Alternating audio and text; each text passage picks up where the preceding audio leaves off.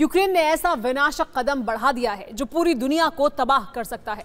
Ukraine ने रूस की राजधानी मॉस्को पर अटैक करने की कोशिश की है। पहली बार यूक्रेन ने मॉस्को से 150 किलोमीटर दूर अपने ड्रोन का कंट्रोल्ड विस्फोट किया है। यूक्रेन की इस कोशिश के बाद रूस ने अपने बंकर भी खोल दिए हैं और न्यूक्लियर अटैक की चेतावनी भी जारी कर दी है। संयुक्त राष्ट्र ने कहा है कि दुनिया इस वक्त सबसे जोखिम भरे दौर में है। कभी भी न्यूक्लियर वॉर शुरू हो सकती है। सवाल यह है कि क्या युद्ध में डर्टी बॉम्ब का इस्तेमाल होने वाला है? क्या न्यूक्लियर अटैक को हादसे की शक्ल देकर विध्वंस शुरू होने वाला है? देखिए ये रिपोर्ट। युद्ध में पहले यूक्रेन का विनाश हुआ।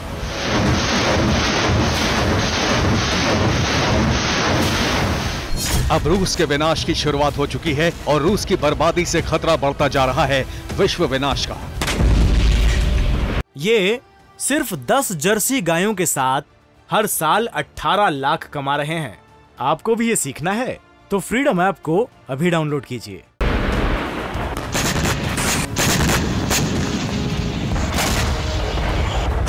दूर से छोटी सी चिंगारी जैसा नज़र आने वाला ये धमाका वर्ल्ड वॉर और न्यूक्लियर प्रहार शुरू करा सकता है। ये विस्फोट यूक्रेन ने एक ड्रोन के ज़रिए किया है।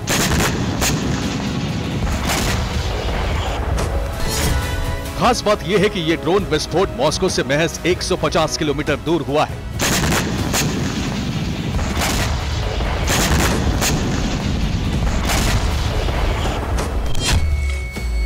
मॉस्को से 150 किलोमीटर कलुगा में ड्रोन विस्फोट हुआ। ये ड्रोन विस्फोट कलुगा के जंगलों में सुबह पाँच बजे हुआ। कलुगा गवर्नर के मुताबिक ड्रोन विस्फोट ज़मीन से 50 मीटर ऊपर हुआ।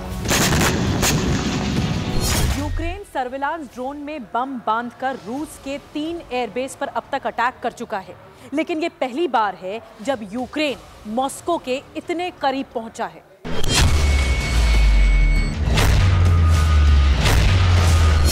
ड्रोन का मॉस्को के करीब पहुँचने का मतलब है कि रूसी राजधानी अब यूक्रेन की रेंज से बहुत दूर नहीं है।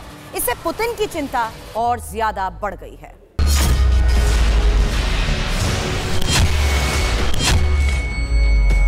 रूस ने अटैक और डिफेंस दोनों ही तरफ़ से मजबूती और तेज कर दी है। यूक्रेन की रेंज बढ़ती हुई देखने के बाद रूस ने अपने बम शेल्टर्स को और ज़्यादा दुरुस्त करना शुरू कर दिया है।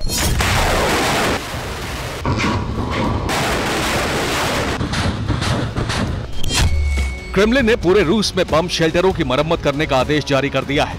विश्व युद्ध और सोवियत रूस के दौर में बने बंकर बरसों से काम नहीं आए हैं। इनको दोबारा मज़बूत किया जा रहा है। रूस सरकार बम शेल्टरों की मरम्मत कर करोड़ों रूबल खर्च कर रही है।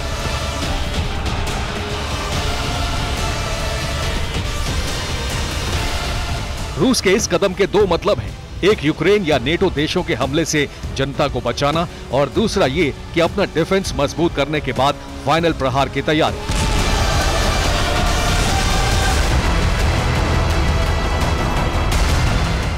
क्योंकि रूस के खिलाफ भी अब सबसे बड़ा युद्ध छेड़ने की तैयारी पूरी हो चुकी है। अमेरिका और नेटो देशों ने यूक्रेन को एडवांस वेपन भेजने शुरू कर दिए हैं।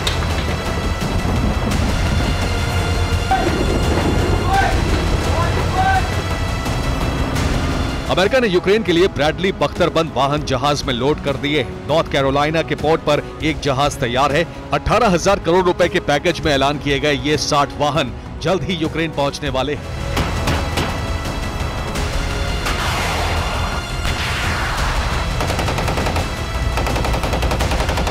कनाडा ने भी 5 फरवरी को लेपर्ड टू टैंकों का जहाज़ लोड करके यूक्रेन रवाना कर दिया है।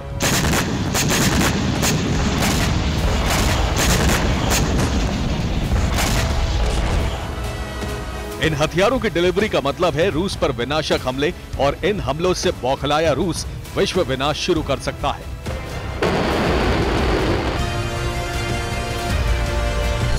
राष्ट्र प्रमुख एंटोनियो गुटरेस ने कहा है कि रूस यूक्रेन युद्ध लगातार खतरनाक हो रहा है और अगर वो इसी तरह खतरनाक रहा तो दुनिया विनाश की तरफ़ आगे बढ़ रही है।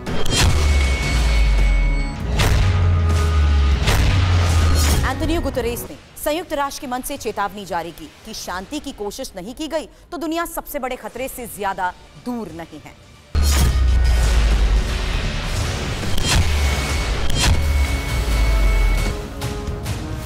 संयुक्त राष्ट्र ने आगाह किया है कि न्यूक्लियर जंग कभी भी शुरू हो सकती है।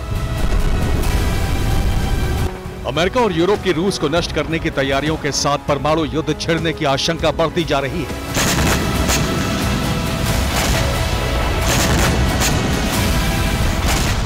युद्ध भड़कने की आशंका के चलते पोलैंड ने वॉरसो में पैट्रियट मिसाइल सिस्टम तैनात कर दिए हैं।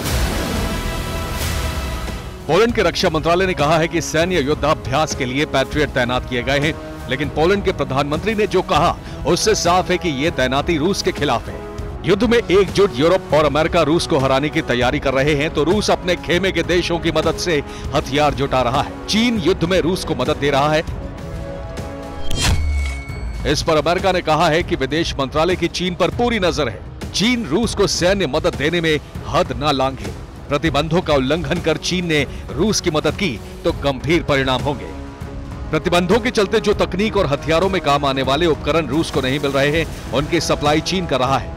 इसी बात पर अमेरिका ने आपत्ति जताई तो चीन ने भी नेटो को सीधी धमकी जारी कर दी।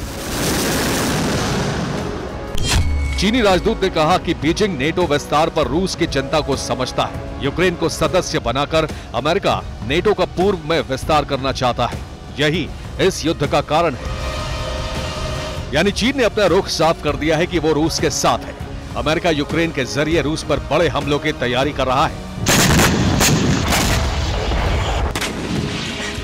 मॉस्को के करीब विस्फोट करके शायद पुतिन का मूड भांपने की चाल चली गई है, लेकिन इस विस्फोट के दिन ही संयुक्त राष्ट्र प्रमुख ने चेतावनी जारी की है कि अगर युद्ध और भड़का तो न्यूक्लियर वॉर कभी भी छिड़ सकता है। Bureau report, TV nine Bharatvarsh ये सिर्फ़ 10 जर्सी गायों के साथ हर साल 18 लाख कमा रहे हैं। आपको भी ये सीखना है? तो फ्रीडम ऐप को अभी डाउनलोड कीजिए।